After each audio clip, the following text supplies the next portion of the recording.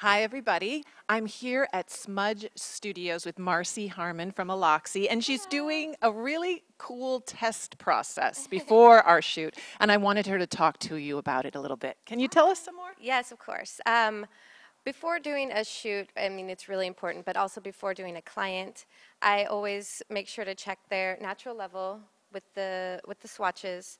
So uh, Shannon here is actually a four and she has previous color on her ends already. So I don't just go into this project with blind eyes. I would like to actually see how it's going to come up. So I've done a series of four different test strands here uh, with four different color personalities that I think would look great on Shannon. We had a talk previously about what she wanted, and uh, so going with those ideas um, and our ideas for our shoot today, which is fall colors and leaves and the changing of leaves and see how pretty it is. so, um, so for Aloxxi, we are thinking it would be nice to have some nice warm colors, some uh, some interesting other colors mixed in.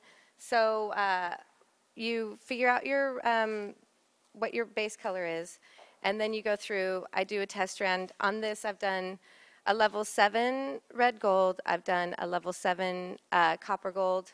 I've also done a 5 just golden, and then a 6 copper also.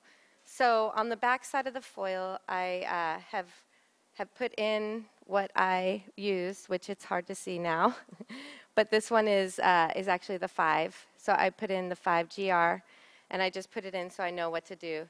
This is actually the 7RG and then I can see what is going to happen. We let it process for the full amount of time because I need to know exactly what's going to happen for her color and because we have a few things happening here.